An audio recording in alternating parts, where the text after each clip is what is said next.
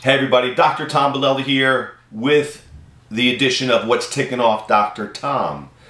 Well, I'm ticked off at someone you all know.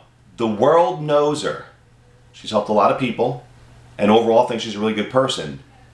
But I'm ticked off at her. In fact, I have a picture of her right here. I'm going to show you who it is. Don't get mad at me, but I'm ticked off at Oprah. I'm ticked off at Oprah. And I'm going to tell you why I'm ticked off at Oprah. See the latest Weight Watchers commercials? That she owns a big stake in Weight Watchers? But that's not my issue. My issue is there's the commercials, her eating pasta with the spaghetti dripping down her face is a big boom down the face. And then there's she drinking wine with her girlfriends. To me, that gives a message to people that this is easy. You can lose body fat with wine and pasta. I really don't think so. And I don't really believe that Oprah is using Weight Watchers food.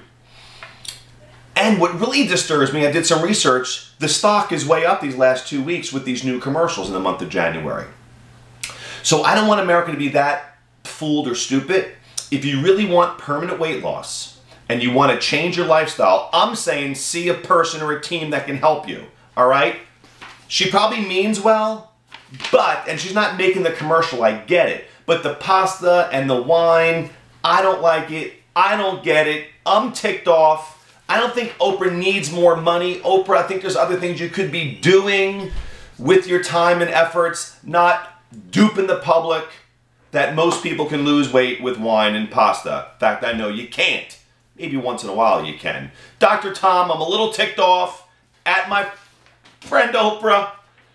You know better. Do the right thing. Let's end the drug era by being responsible, eating clean, Dr. Tom, I'm a little ticked.